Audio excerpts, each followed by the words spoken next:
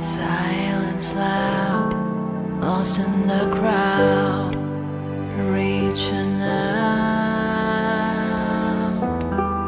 Silence loud, lost in the crowd, reaching out.